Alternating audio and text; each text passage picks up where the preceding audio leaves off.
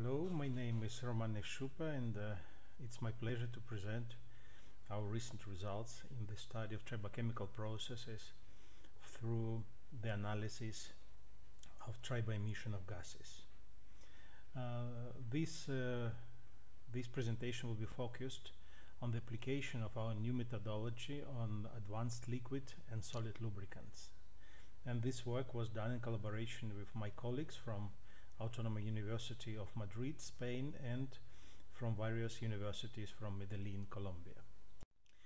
First of all, I would like to acknowledge the collaboration from Jaume Caro and uh, Anton Rusanov for preparation and characterization of DLC samples and also funding obtained from various uh, projects. This project, uh, this uh, presentation will consist of four main parts. In the first part, I will briefly explain the state of the art mm, in accessing almost inaccessible interfaces. In the second part, I will talk about gas triboemission, the fundamentals of uh, this phenomenon. In the third part, I will uh, discuss the operandi characterization of tribochemical processes, the new, the recent, the recent advances in uh, the methodology of uh, using mass spectrometry for characterization of tribochemical processes. And finally, I will show several case studies where this methodology was applied for studying DLC coatings, ionic liquids and composite friction modifier.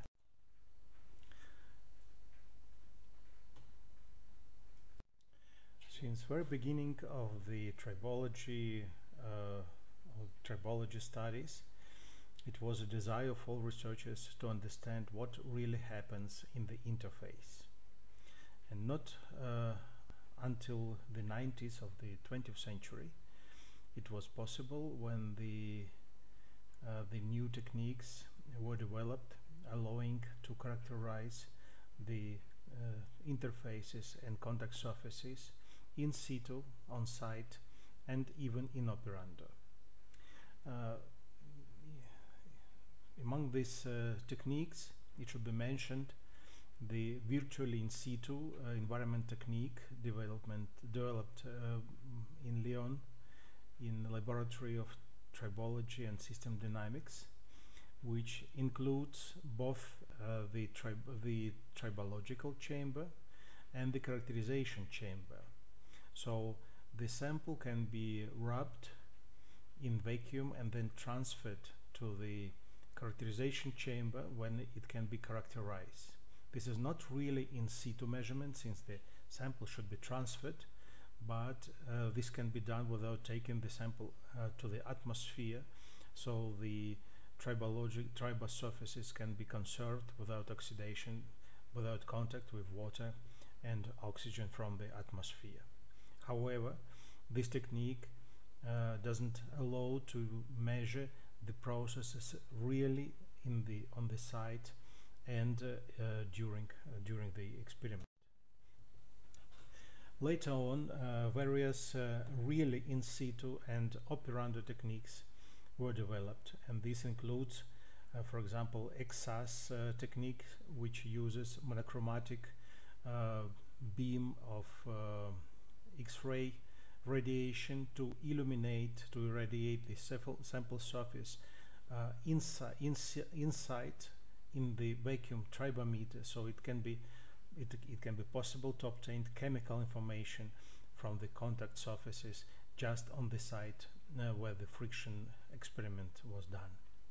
And the most advanced technique uh, including FTIR, Raman, synchrotron, XANES, electrochemical, digital holography and other allows measurement the processes directly on the interface during friction but the these techniques requires that one of the samples which uh, are in contact should be transparent for the uh, radiation uh, which is used for a certain technique. So this technique cannot be used uh, freely freely for all types of interfaces. This only you know, this technique is only suitable for uh, laboratory characterization of some certain processes which can be characterized using this uh, transparent materials or, or window disk. But uh, what about the real situation or uh, real material um, uh, combinations, which usually are metals or ceramics, which are not transparent for the selected uh, wave uh, wavelengths. So what can we do to characterize friction and wear on real interfaces which are really buried into the uh, in, in, and very difficult to access. Unfortunately, only very limited number of techniques uh, are available now, and I can mention here the acoustic emission and noise, which allow uh, to obtain the information about fracture processes and deterioration, crack propagation at the interface by measuring the acoustic emission and noise.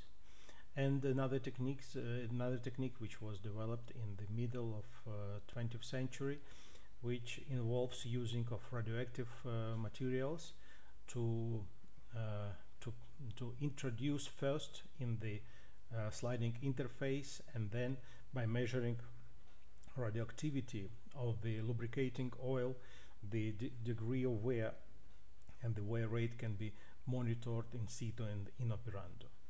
However, these uh, techniques does not do not provide any chemical information on the tribochemical processes. So uh, the probably one of the most uh, useful solution for this situation is the use of mass spectrometry. Really, this is not the new approach since mass spectrometry has been used for, characteriza for characterization of uh, emi gas emission from uh, sliding interfaces for more than four decades. However, uh, many of these techniques are not um, mm, fine-tuned to uh, to exploit all the potential which has this uh, this technique. So uh, the first mention of the phenomenon of gas emission by by friction probably uh, dated back to 1961 to one of the very famous uh, professor and researcher of uh, vacuum science, Professor Groszkowski, who observed that when a glass ball uh, moved uh, inside a vacuum gauge, the pressure went up and down, and this uh, pressure variation corresponded exactly with the motion of the ball. He supposed that uh, this phenomenon is caused by local frictional heating at the, at the interfaces. Later on in 1965 and independently on Professor Groszkowski, Professor De Segovia also observed pressure variation in a vacuum in a glass vacuum system when a sample was manipulated and this caused some uh, rubbing of copper against copper or copper against uh, glass surfaces. However, uh, this phenomenon has not been studied uh, in more details uh, so far by these researchers. So uh, after several decades of investigation by several groups, it can be concluded that the triboemission of gases includes several main sources. The first uh, of them is emission of atoms and clusters of the material subjected to rubbing. So the material is uh, rubbed and the, the small uh, parts of this material, particles and clusters can be emitted by friction, uh, by friction process. The second one is desorption of the topmost adsorbed layers. Uh, imagine you have uh, a, a, layer of water adsorbed on a metal surface and by rubbing this metal surface a part of this uh, water uh, layer is desorbed and this can be observed as gas emission. The third one is desorption of gases which are dissolved or occluded in the volume of the material. So deformation of uh, material and uh, also to some extent heating of material by friction can lead to uh, emission of these gases which uh, existed uh, in the in the volume of the material. And finally, and that is the most interesting for this uh, presentation, is that the gases can be generated during and after rubbing due to tribochemical reactions.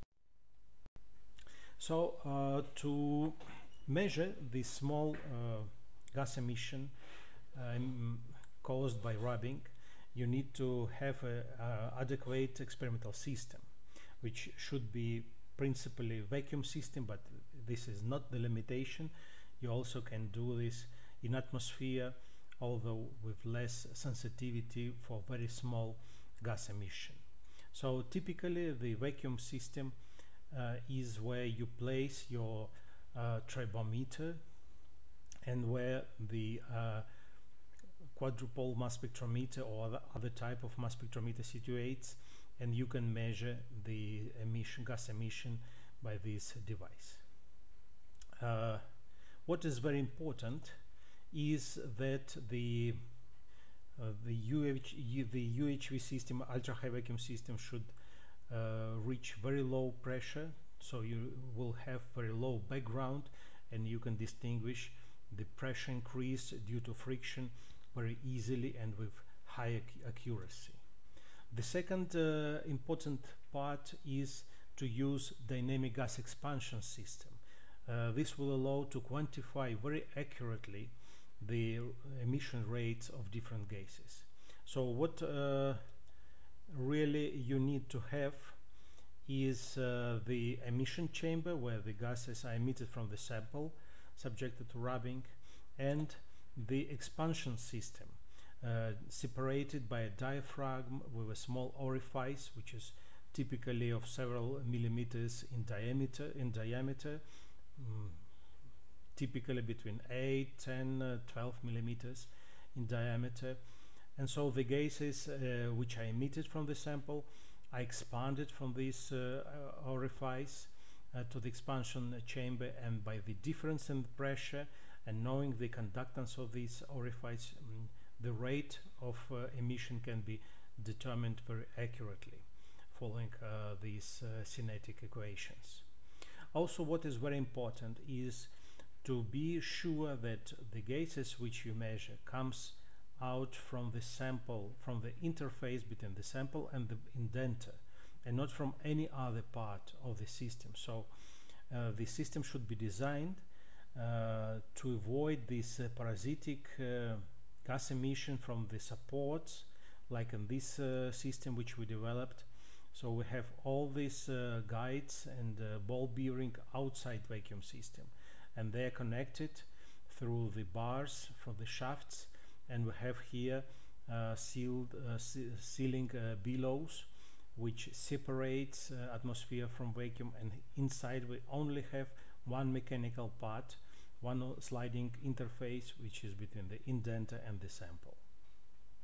Also it is necessary to use mass spectrometry to, to distinguish between various uh, emitted species and also it is necessary to apply correct models to obtain uh, the information on the uh, to identify these uh, species and also to obtain the information about the chemical reactions lying behind this uh, emission processes. Well, uh, identifying the this emission species is not really an easy task as many uh, researchers uh, may think. And uh, I would like to first mention the uh, Morris classic study where he used the system shown on the previous previous page uh, to uh, study uh, tribochemical formic acid conversion on steel surface under friction. So he used uh, the formic uh, acid vapors introduced into the vacuum system when the uh, rotation of the table started, the friction started, so the pressure of the formic acid decreased and also synchronously uh, the pressure of CO2 which is the product of this reaction increased and by analyzing these uh, dynamics by correction uh, of, by the pressure of the formic acid he showed that the corrected CO2 is the rate of CO2 production per mole of uh, formic acid is constant. So this uh, clearly demonstrated that the uh, chemical process is constant on time and depends on the concentration of the uh, reactants to give uh, the reaction products as CO2 and H2. And this, this approach was recently applied to different systems, to different liquid and solid lubricants. Uh, however, many researchers do not pay attention to how really the identification can be done. So in many cases, in uh, many published uh, uh, papers, it is easy to find uh, such data where you uh, can see that the mass spectrum channel uh, with the mass number mass to num mass to charge ratio 15 is directly assigned to CH3 but CH3 is hardly can be emitted as a gas. So this corresponds to CH3 mass ion uh, measured by uh, mass spectrometer. And also the uh, it should be mentioned that the mass 15 can correspond to different species. Why not ammonium? NH is a possible ion with mass 15 which can be emitted in such uh, systems in such system where uh, CN and H are present. So you should not you, you, it is not possible to identify the emitted uh, molecules only by mass to charge ratio. And the same situation with a ton emission uh, which is shown which is uh, uh easily uh, assigned to the mass uh, to charge ratio 26 of mass spectrometer or 28 mass spectrometer but this also can be ion coming from methylamine or some other compounds. So this uh, simplistic approach can lead to significant error. And also another in another study, uh, you study of the uh, ionic liquids, uh, also very simplistic, where the the peak, very small peak at mass uh, 34, was assigned to sulfur hydride. However, there is also isotope of sulfur mass 30, eh, 34 which can appear on the mass spectrum and the abundance of this uh, isotope is 5% so it is not negligible and can be measured by mass spectrometer and this should be uh, taken into account. And when you uh, suggest that the some of the components of the mass spectrum should be assigned to some certain ion you should demonstrate all the possible ions coming from the same molecule. All these uh, ions should be present. You should not uh, say that uh, this corresponds to CF3 if other fragments are not demonstrated because uh, none of these uh, fragments can come alone uh, from the same molecule so uh, to identify the emitted species, there are certain challenges uh, in using mass spectrometry. Uh, here you can see the uh, three main challenges, which are highly dynamic emission, uh, which may have bursts and transients. So by measuring the different mass to charges, ions with different masses, uh, consequently, as uh, usually all mass spectrometer do, you can lose the information about uh, the dynamic process because when you measure, we start you measuring, the uh, the process has some feature, and when you end measuring, uh, some burst can appear. So the beginning and the end of the same uh, spectrum will not correspond to this to the same process so it should be mm, analyzed very carefully and uh, much attention should be paid to the time resolution of the processes and to select the uh, appropriate uh, time um, parameters of mass spectrometer measurements. Also, another problem is that the composition of gases is unknown, so it is difficult to assign the ions in the spectrum to the certain molecules if you do not know the exact composition since many molecules can give uh, the same ions you need to analyze the mass spectrum as a whole and not just selecting one channel and assigning this channel to certain uh, to certain molecule. And another uh, serious problem is that when you mm, subject the material to rubbing, you can produce also radicals, and radicals mm, can modify the mass spectrum. So mm, it should be uh, analyzed very carefully to be sure that mm, the spectrum of uh, some molecule include all the components in correct proportion and that there is no contribution from radicals. And if you see this contribution so it can give you very valuable information which cannot be obtained by other techniques uh, and this information can be obtained in situ and and operando. So what we uh, our advancement in this field were to develop new approaches which consists in uh, development of the procedure procedure for correlation and statistical analysis of mass spectrometry signals of all ionized uh, fragments is um, aggregation of mass spectrometry by the time uh, type of time series behavior. So we analyze not only the peaks on the mass spectrum but also we analyze the behavior of time series. So and we can uh, distinguish uh, which can help us to distinguish uh, to which molecule correspond uh, each uh, ionic component. And finally we can also analyze the time constant of transient processes which uh, provides very valuable information and accurate quantification.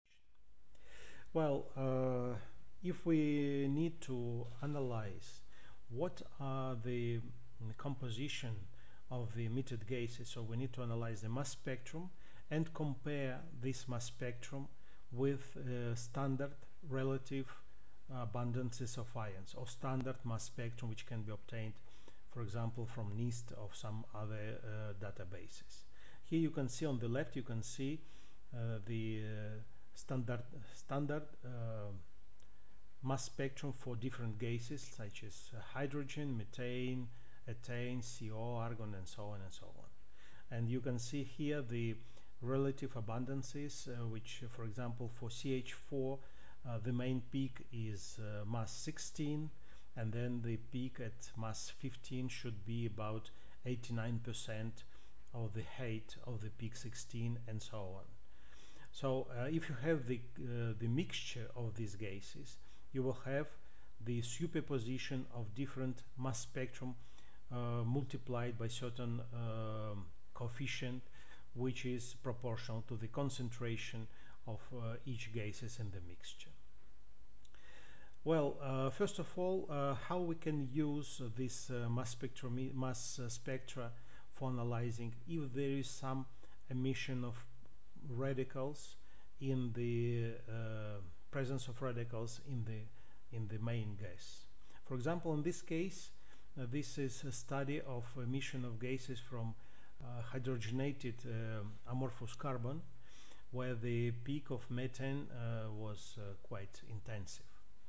Uh, but also it is not discarded since the mechanism of uh, emission is bond breaking between C and the methyl group so this methyl radical can also escape and theoretically it can be found in the emission gases so how can we uh, pr uh, probe the presence of these radicals in the emitted gases The first of all we need to find the correlations correlationships between the different channels of mass spectra corresponding to methane.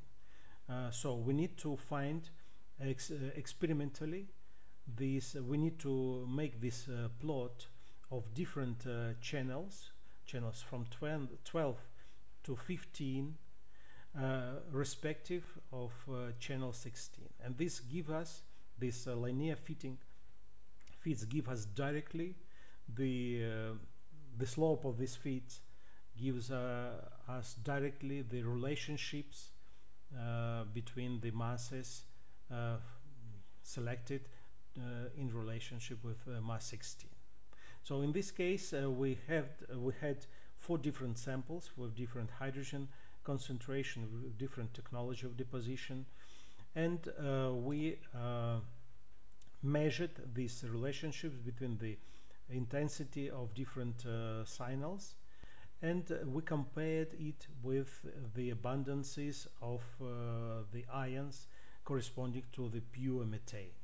And what uh, it was found that in all cases these relationships were equal or smaller than the theoretical ones so this means that there are no evidences of uh, methyl radical triboemission this is quite uh, clear from the chemical point of view since methyl radical is very active and uh, when it finds uh, some neighbor molecule it can abstract hydrogen and so it will complete uh, its configuration and uh, will form methane molecule.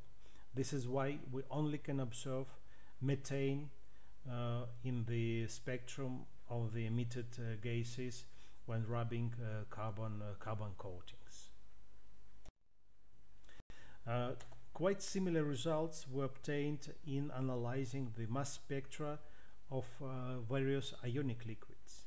And the, here you can see uh, the um, uh, compar comparison comparison between the uh, theoretical mass spectrum of methane, which is the gray bar, and uh, the corresponding spectrum obtained during triboemission from this uh, ionic uh, liquid with this cation, with this dicationic ionic liquid with uh, imidazolium, imidazolium type and with uh, butyl side chains and um, uh, ethylene glycol uh, connection connection chain.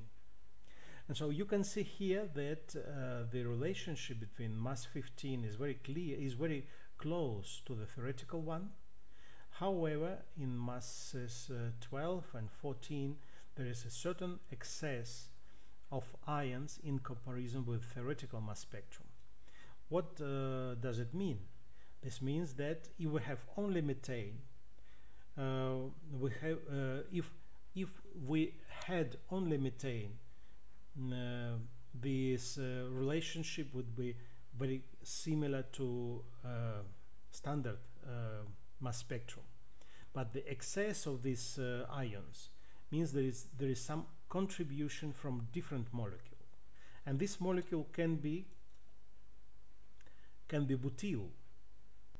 Uh, this also comes from the comparison of the channels 42 and 43, which correspond to the to these propyl uh, various uh, propyl uh, ions. And uh,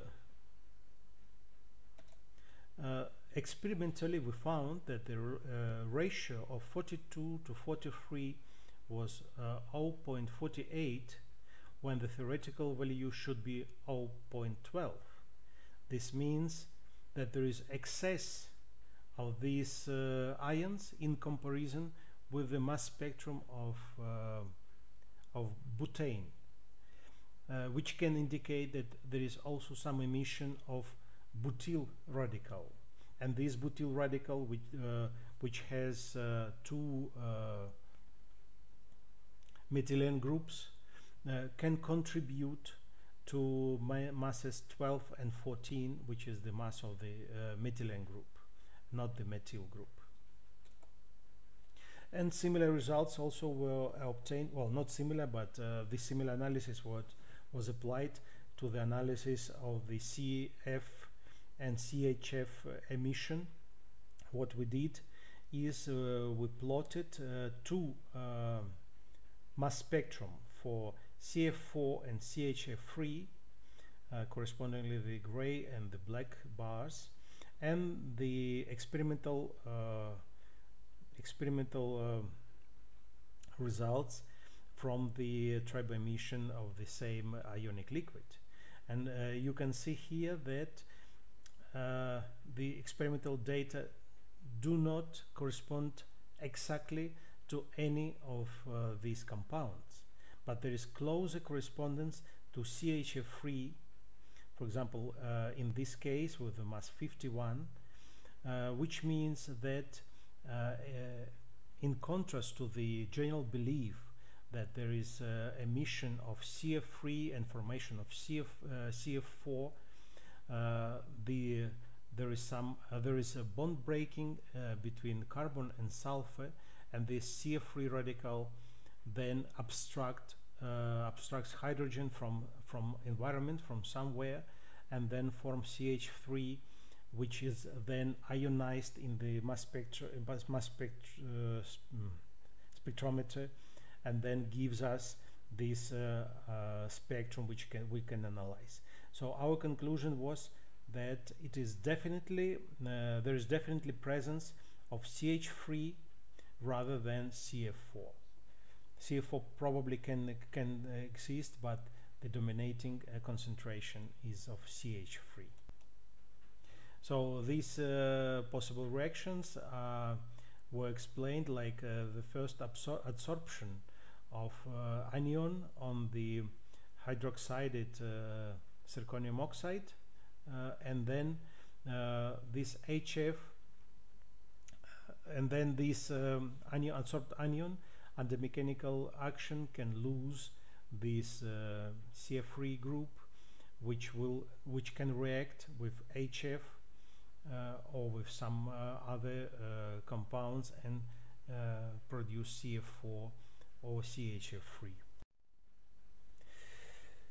Uh, in many cases, uh, the mass spectrum is uh, of triboemitted gases is so complex that it is very difficult to analyze it. This is especially the case for polyethylene, polyethylene glycol compounds, which produce a number of different products uh, with very similar uh, ionization mass spectrum uh, spectra. So the same ion can belong to more than one uh, different compounds and this makes the analysis very diff difficult. So uh, we suggested the next uh, approach to help us to separate the, the ions, identify these ions assign and assign them to uh, different uh, emitted molecules. And this uh, method consists in analysis of time series. So if we see the time series of different mass spectromic channels, we can see that the behavior is quite different. So if we can if we group the channels by behavior, we can see that mm, they mm, definitely uh, show us uh, that they can correspond to certain uh, certain molecules. So how this can be analyzed? First, the behavior mode should be identified, which here are called denoted by different Greek letters. Then uh, the different groups should be made up according to the same behavior. And then it is very important to analyze these rising and falling edges. And uh, how what, what information can be drawn from this analysis well the first you can see that in this case these uh, two channels correspond to CF3 and CHF uh, CH4 uh, CF sorry CF4 and CHF3 uh, so uh, you can see that there is a very steep rise at the beginning and very steep uh, fall of the signal just when the rubbing stops. So this means that there is instantaneous emission with mechanical action.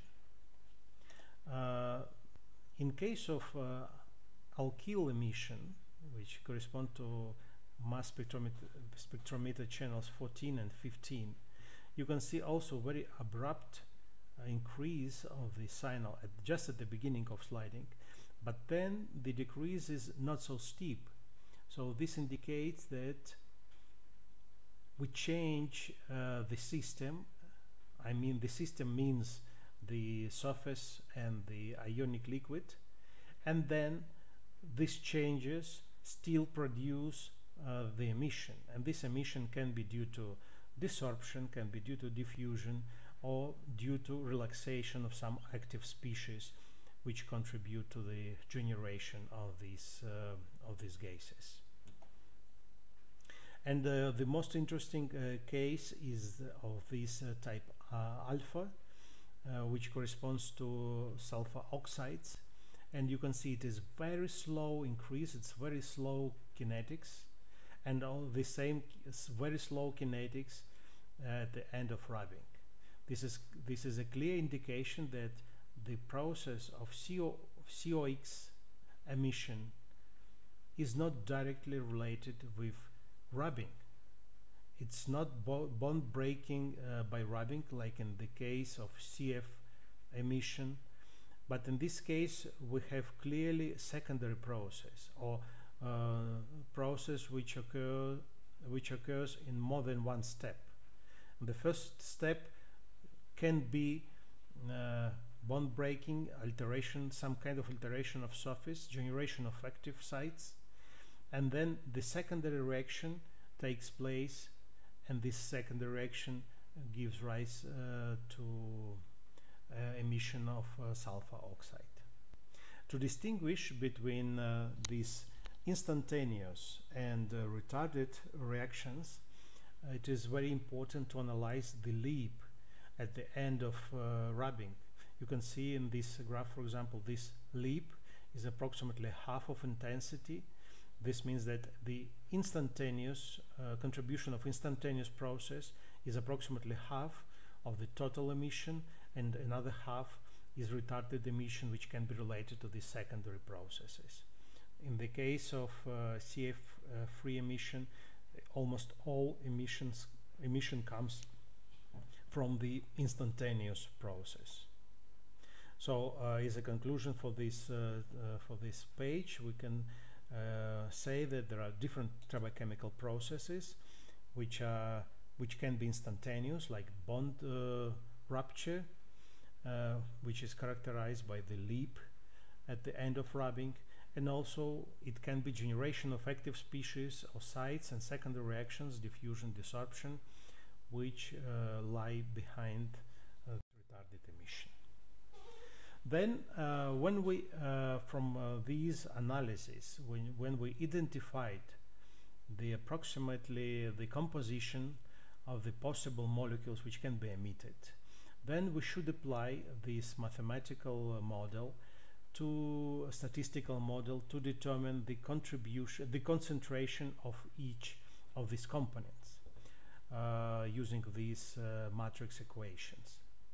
In this case, the A is the standard uh, mass uh, spectrum obtained from NIST and P is, uh, sorry, uh, and P is the measured mass spectrum. So by applying this equation, you can get the concentration of the components which you model. So the first you need to make the model. You need to suppose the composition of the emitted gases and then you apply this uh, uh, this mathematics and you get the uh, concent relative concentration of these components but uh, maybe uh, you are wrong in the your model so you need to check uh, you need to uh, make up different models and need uh, to apply this mathematics various times and to check the quality of the fitting, the quality of this data. And for example, here this data correspond to the mass spectra of gases emitted from uh, uh, carbon samples and you can see that the best uh, fitting uh, fit was uh, obtained for this for this model including six components. And if you withdraw uh, several components you can the um, the fit is not so not so good. And if only two of the gases are used so the quality of fit uh, decreases. So you need to you need to select the model which gives you the best uh, result uh, using the step uh, forward and, and uh, backward elimination procedure. Then you finally decide, you selected which model is the most adequate to your situation. You can quantify and determine the uh, emission rate using uh, the time series and the parameters, time series of mass spectrometric uh, channels and the parameters of the system such as the volume, and the conductance of the diaphragm or orifice. And then you obtain final results which are desorption rates can be which can be expressed in uh, SI uh, units or in uh, moles per second, for example. And here you have the results for two uh, for four samples from D1 to D4 carbon coatings, and you can here you can see here these uh, results in moles per cubic centimeter and in SI uh, units. And now I would like to show you how this uh, met methodology was used uh, in studying of uh, carbon coatings, uh, ionic liquids and friction modifiers. So as I told you before, we characterized triboemission from four coatings the, all of them are amorphous carbon coatings with uh, quite high hydrogen content between approximately 15 and uh, 44 percent and uh, these coatings were obtained by IBD and PCVD uh, processes with uh, using different precursors and using argon gas in some cases. And here you can see the triboemission spectra uh, obtained for each coating. You can see there is clear uh, correlation between the concentration of hydrogen in the coating and the intensity of hydrogen and methane uh, signals in the mass spectrum. With increasing uh, the hydrogen concentration in the coating, we see dramatic increase in the hydrogen peak and also increase in the CH4 intensity. Uh, so uh, it can be, uh, it was concluded that uh, the generation of these gases should be by uh, uh, mm, bond breaking due to due to shearing and recombination of the radicals with hydrogen or CH molecules which give rise to emission of methane and hydrogen. What is interesting also is that uh, the behavior of uh, methane, the relationship between methane and the hydrogen emission is not linear. So the more hydrogen we have in the coating, the higher is the ratio hydrogen to methane. Here you can see the uh, this uh, cross correlation graph for methane versus hydrogen for the D3 and D4 coating. This is the maximum hydrogen concentration. This is the second uh, the second hydrogen concentration. So you can see at the beginning the ratio is close to one one uh, mole of uh, methane to one mole of uh, hydrogen. But during friction it decreases and we have 10 times more methane than hydrogen. In case of highly hydrogenated coating, it is uh, most stable uh, with uh, friction uh, duration and it is uh, it can be found between uh, 0.4 and 3 ratio. this means that the there is much higher relative concentration of hydrogen than methane in this case and this uh, corresponds well with uh, FTIR analysis of the of the um, uh, samples uh, which shows us that in the case of uh, D4 sample these and these spectra we have high concentration of methyl group and also of chain C chain methylene group.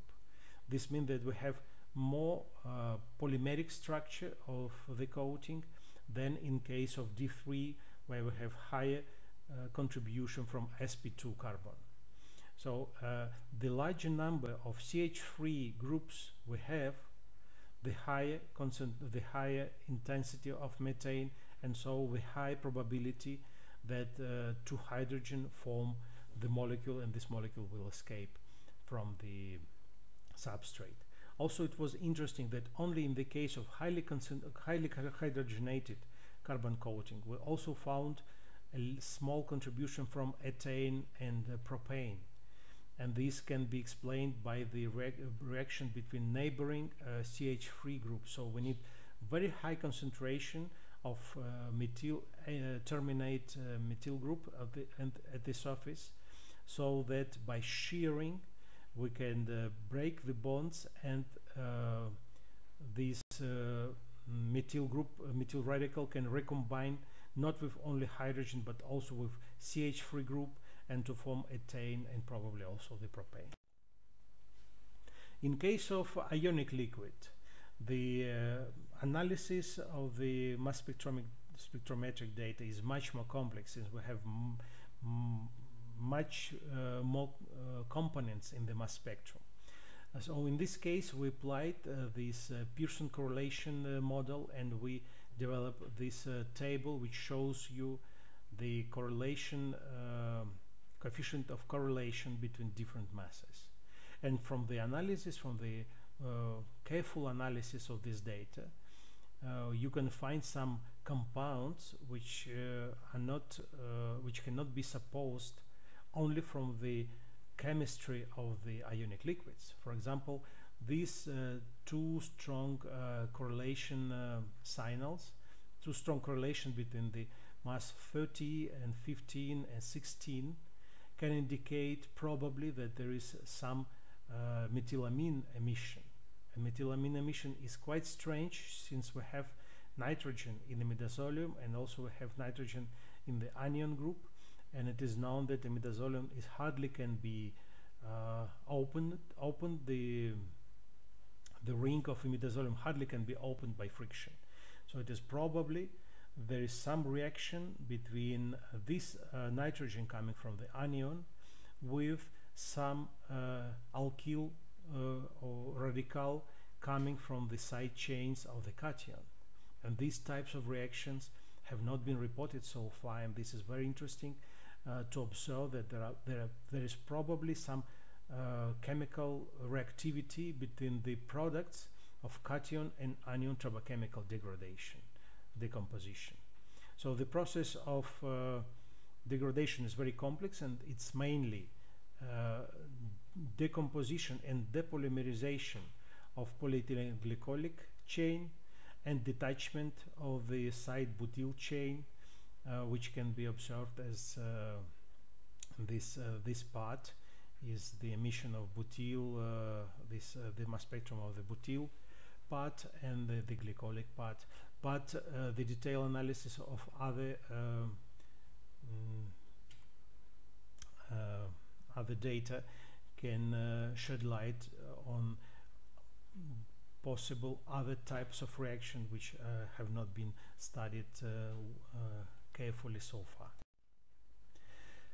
Uh, what I told you uh, before, what we found uh, uh from the analysis of this uh, spectra is that there are probably also emission between sulfonic uh, group and other products of reactions decomposition like CHF3 and probably this methyl radicals so which uh, give rise to the formation of these probable probable uh, compounds. We do not know exactly which compound is but the mass spectrum of these three compounds have uh, some components which cannot be explained by other one.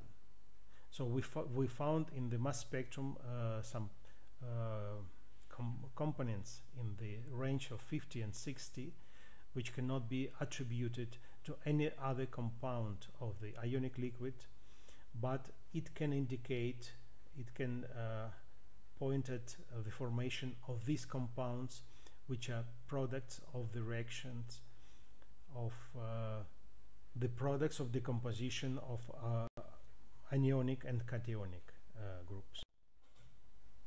And finally very interesting result uh, which was obtained recently is uh, concerned uh, the tribochemical reaction in solid uh, lubricant which is a composite of molybdenum disulfide and uh, carbon nanotubes in vinyl ester matrix. This is a friction uh, composite friction modifier which is used for lubrication and controlling friction in uh, in the contact between the rail and the wheel in uh, railways and uh, what we found is here you can see in this graph is the comp comparison of the only vinyl ester matrix the blue bars and the fully and the full uh, composite including uh, both uh, additives. So you can see here the strong increase in the emission of sulfuric compounds such as uh, sulfur, sulfur hydride, sulfur oxide. Probably here we have this um, uh, comp com composition with uh, methyl and uh, also very interesting is the emission of CS2 and COS. Why is it uh, interesting? Uh, the matter is that under, under um, heating of carbon with sulfur or sulfur composite, uh, these two compounds uh, have not been observed at any temperature uh, under heating and thermal pyrolysis in vacuum or in atmosphere. So this means that under friction there are different types of chemical reactions which lead to formation of the bonds between carbon and sulfur. And this probably comes uh, from the the carbon probably comes from the carbon nanotubes since we have here that after friction the carbon nanotube this uh, displacement of the the shift of the peak uh, indicates increase of disorder and increase of the number number of edges. And the Raman spectrometry also shows that the carbon uh, is uh, closely related the its position is closely related to the position of uh, sul uh, molybdenum sulfide crystals. So it is clearly a reaction between carbon and uh, molybdenum sulfide which lead to formation of these CS uh, compounds the matter uh, the question now is can we find uh, some uh, CS solid compounds on the surface? So we are still uh, working on this uh, topic and it's very interesting to for us to know is there is there any influence is there any chemical modification of the surface by the combination of carbon and sulfur and sulfur and maybe this is another uh, and probably this uh, is a different tribochemical mechanism of the well-known um, uh, improvement of tribological properties by the combination of carbon and, uh, and sulfur. And finally I come to the conclusions. Uh, first, uh, emission of gases uh, has been proved being a powerful tool to probe tribochemical process in situ and in operando. So you can obtain information uh, by uh, during the mm, the during the experiment or even in the real system uh, if you have some measuring devices to measure the emission of gases. The gas triboemission allows identification of emitted molecular radical species. This is very important and very different from other conventional techniques. Also, we can uh, determine the underlying tribochemical processes by uh, analyzing the time series and uh, time constants of uh, retarded emission. So we can uh, identify which molecules uh, proceeds from the bond rupture, from radical reaction, adsorption, etc. And uh, finally, the reaction rates can be accurately quantified, so we can obtain also quantified information. Thank you very much for your attention.